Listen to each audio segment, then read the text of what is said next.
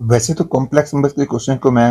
Complex numbers में ही करना चाहता हूँ। और यूजली वही छोटा बढ़ता है। और यदि क्वेश्चन जोमेट्रिकल वे से हो सके तो ये यूजली और भी ज़्यादा छोटा बढ़ जाता है। जेड को एक्स प्लस आई वाई मानने वाला तरीका मैं यूजली अवॉइड करता हूँ। तो यदि बाकी वे जेड को एक्स प्लस आई वाई मानने वाले तरीके से लेंथी बढ़ रहे हो तो लास्ट ऑप्शन होती है मैं जेड को एक्स प्लस आई वाई मान के करूँ। जेड को एक्स प्लस आई वाई मानने वाला तरीका मैं केवल लास्ट ऑप्शन में रखता हूँ। इस क्वेश्चन को मैं जेड को एक्स प्लस आई वाई मानने वाले तरीके से ही करूँगा। इस क्वेश्चन में कहा गया है sum of the squares of modulus of all the complex numbers satisfying this equation is equal to मतलब वो सारे कॉम्प्लेक्स नंबर्स जो इस इक्वेशन को सेटिस्फाई करेंगे, उन सारे कॉम्प्लेक्स नंबर्स के मॉडल्स के स्क्वायर्स को हमने ऐड करना है। ये तो क्लियर है यदि इस z को मैं लेफ़्ट साइड में ले आता हूँ तो z प्लस जेड बार बन जाएगा, और z plus z bar two times x होता है, यदि z x plus i y माना गया हो। हेंस यदि मैं z को x प्लस आई वाई मानता हूँ तो I get 2x equal to i plus 1 into z square that is x square minus y square plus 2x by i and now equating real and imaginary part real part को equate करता हूँ तो I get 2x equal to x square minus y square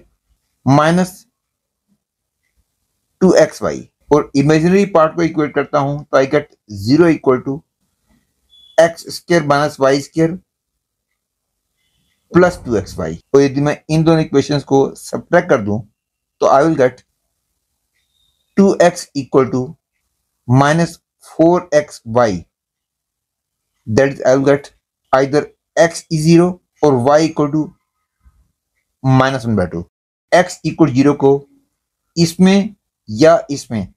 किसी में बुट करके Y की value निकाल सकता हूँ? दोनों से वाई की ज़ीरो मिलेगी। तो इस इक्वेशन का एक सोल्यूशन तो आ गया x equal zero y equal zero z equal zero is one solution और दूसरा सोल्यूशन निकालने के लिए मैं इसको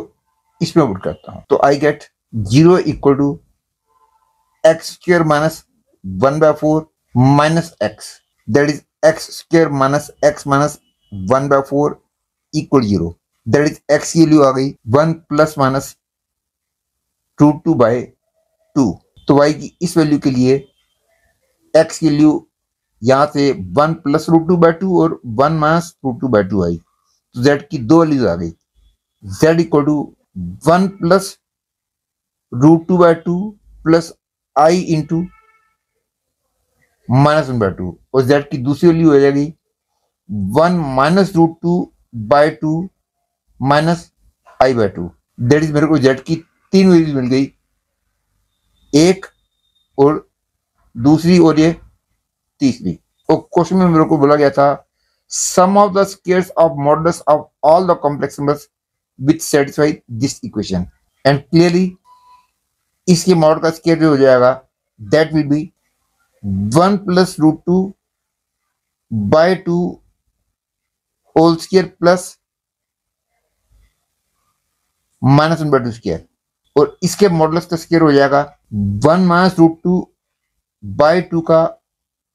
square plus minus one by two का स्केयर और इसके मॉडल्स की वैल्यू तो ज़ीरो है, इसलिए उसका स्केयर ज़ीरो स्केयर आ गया। तो this plus this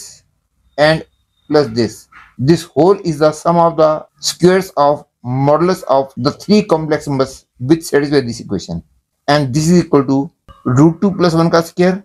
plus 1 square plus root 2 minus 1 ka square plus 1 by 4 this is equal to 2 into 2 plus 1 plus 2 by 4 and this is equal to 2 hence answer to this question is 2